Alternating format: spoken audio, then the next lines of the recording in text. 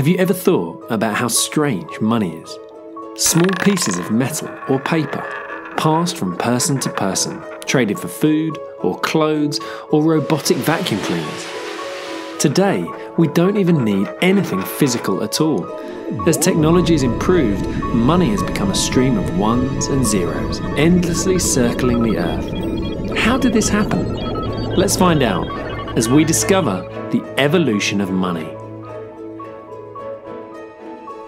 Thousands of years ago, before money existed, humans relied on a system of barter. If you were a farmer, leftover crops could be traded for clothes from the tailor or beer from the brewer.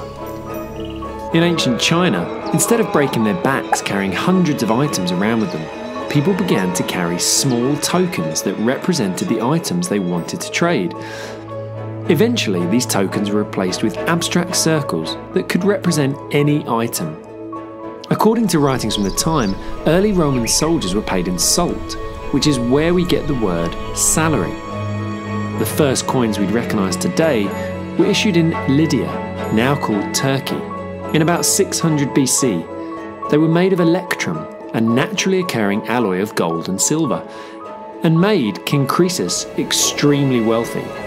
Today, people still use the phrase rich as Croesus Paper money was first developed by the Chinese in around 700 AD, just after they invented woodblock printing. They called it flying cash, as it had a tendency to be carried away by the wind. When Marco Polo visited China in the 1200s, he brought the idea of paper money back to Europe with him, where, at the time, the florin had become an international coin accepted all across the continent. When the British Empire colonised America, the government restricted the colonists from minting currency, so they wouldn't be able to declare independence. We now know that this was a flawless plan.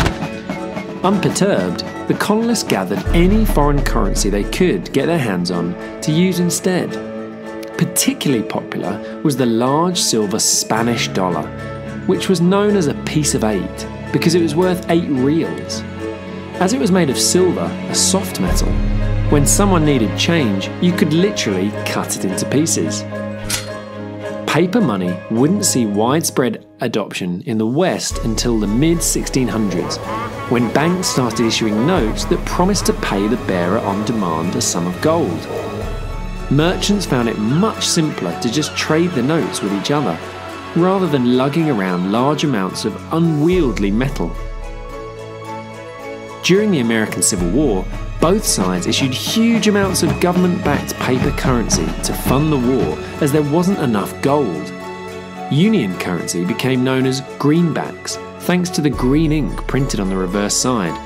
It's a colour we still associate with money today. In 1946, the world's first charge card, creatively named the Charge It, was introduced. It was limited compared to modern credit cards but proved such a useful idea it would lead to the Bank Americard, now known as Visa, and MasterCard. Money finally entered the digital age in the 1980s with the introduction of automatic teller machines, or cash machines to me and you, personal identification numbers, and debit cards.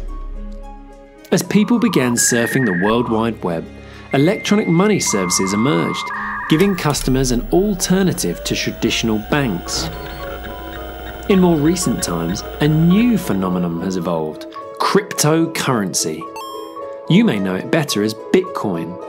The type of currency is decentralized, meaning it is stored across the entire internet and is owned by no one. So, it seems we've come a long way from trading goats for wood. While they once dominated, banks are becoming increasingly less important to our daily finances. We started with a cashless society, and with the rise of chip and pin and contactless payment, cash is on the decline. What does the future hold? Will we cease trading in physical money and go completely digital? Or will we come up with an even stranger way of buying the things we want?